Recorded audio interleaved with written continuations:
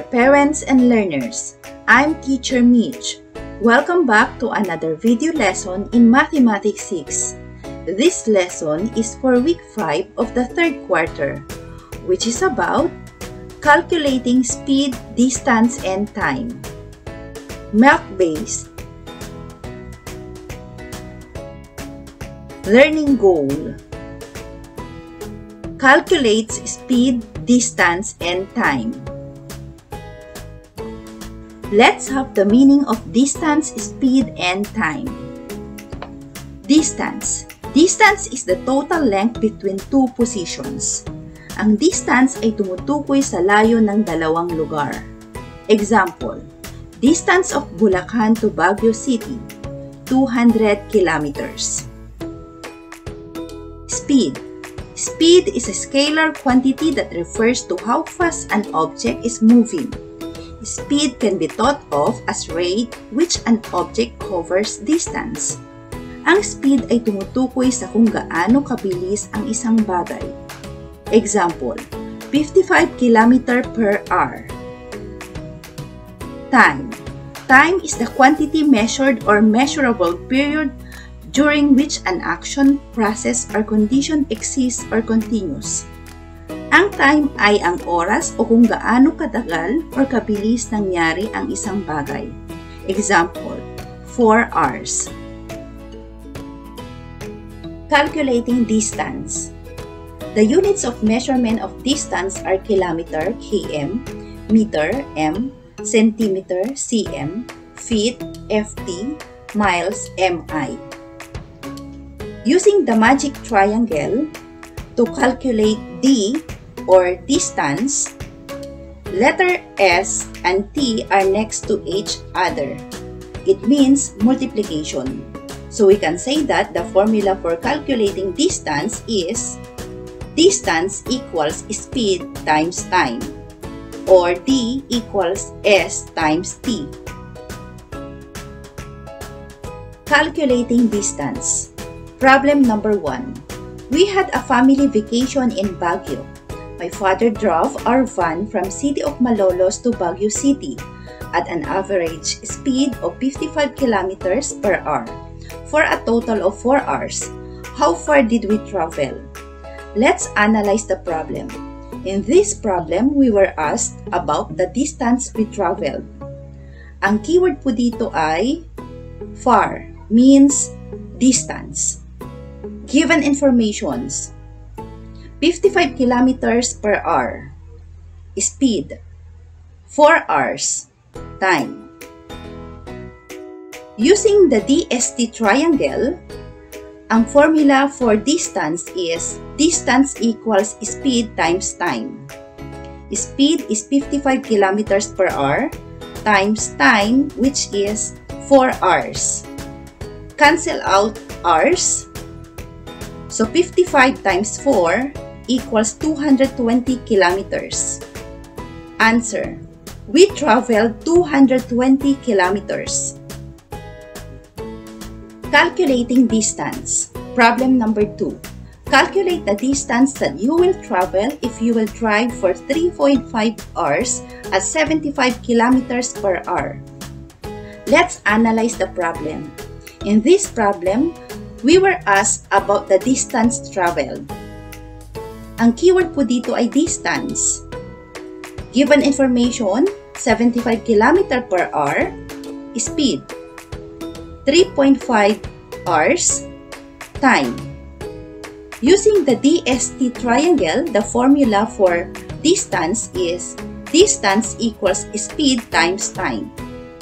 Speed is 75 km per hour times time which is 3.5 hours. Cancel out hours. 75 times 3.5, the answer is 262.5 kilometers. Answer. You will travel a distance of 262.5 kilometers. Calculating speed. Speedometer or speed meter is an instrument on a vehicle's dashboard indicating its speed.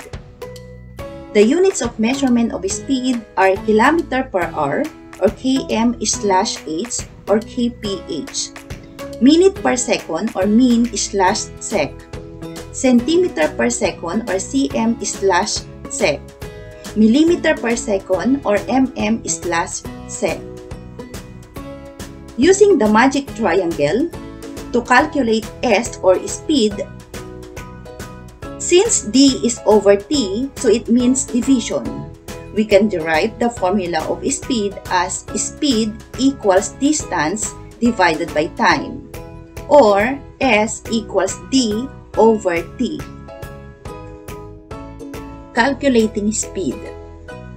Problem number 1. A car travels 120 kilometers in 2 hours. Find the speed of the car. Let's analyze the problem. In this problem, we were asked about the speed of the car. Ang keyword po dito ay ang speed.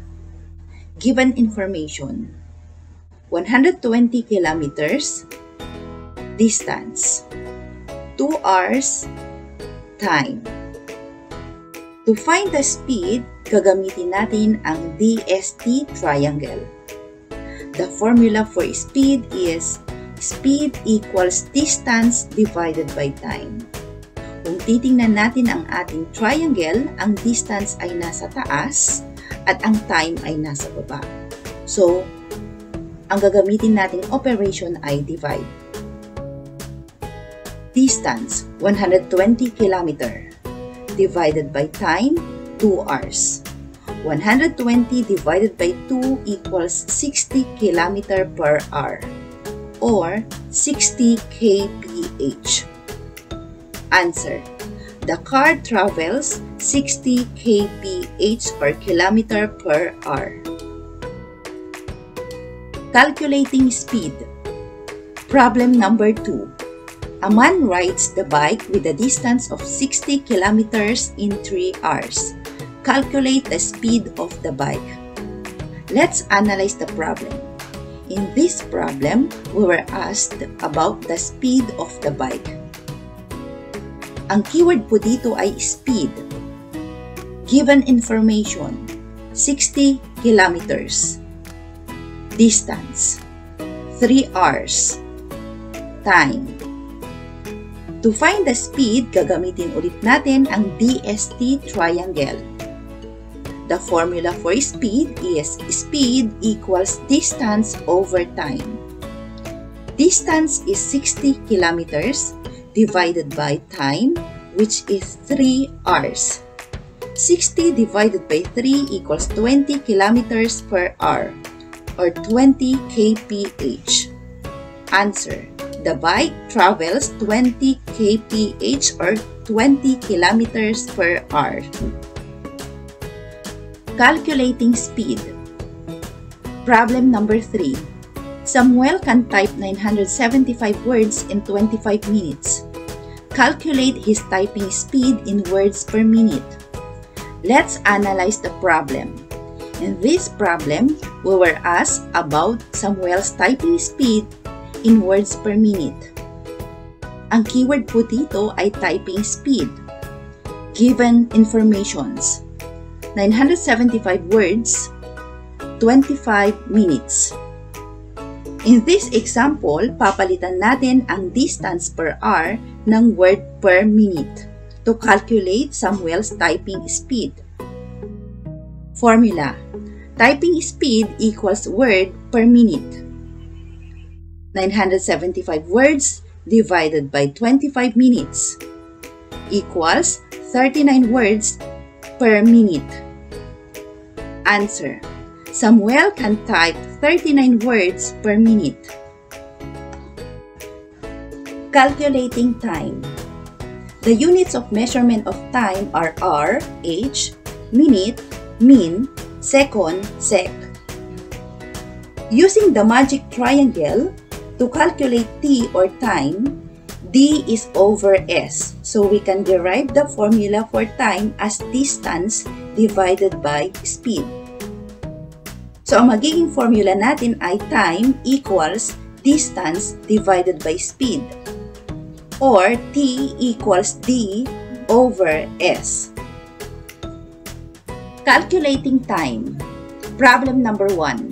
A train travel 555 km or kilometers at an average speed of 60 kph or kilometer per hour. How long did the journey take? Let's analyze the problem. In this problem, we were asked about the journey to.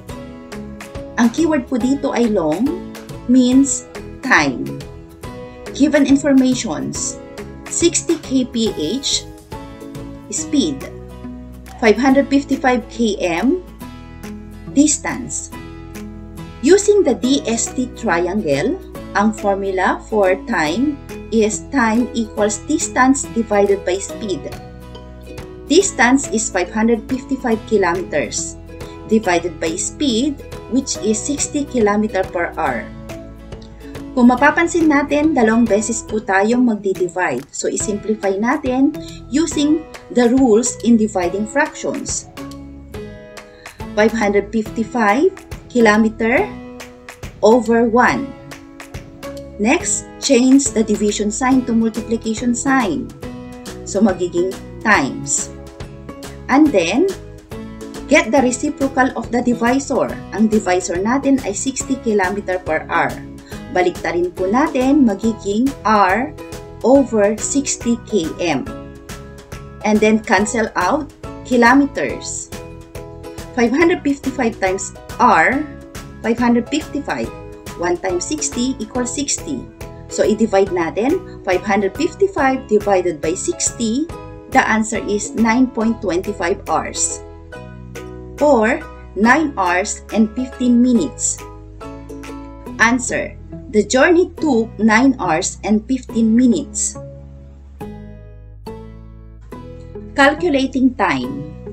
Problem number 2. A bus traveled 252 kilometers at 72 km per hour.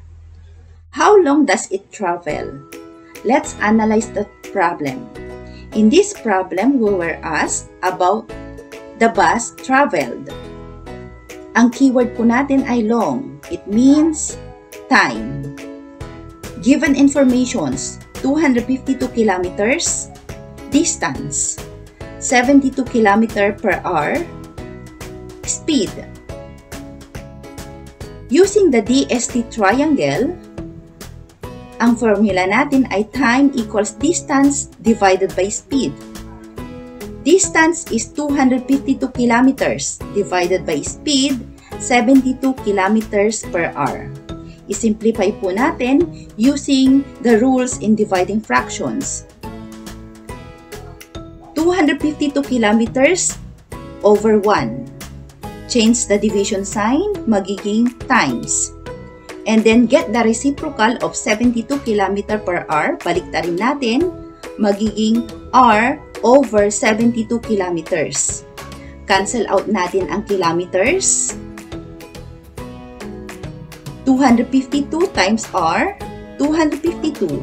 1 times 72, 72. So, i-divide na lang po natin. 252 divided by 72, the answer is 3.5 hours. Or 3 hours and 30 minutes. Answer. The bus traveled for 3 hours and 30 minutes.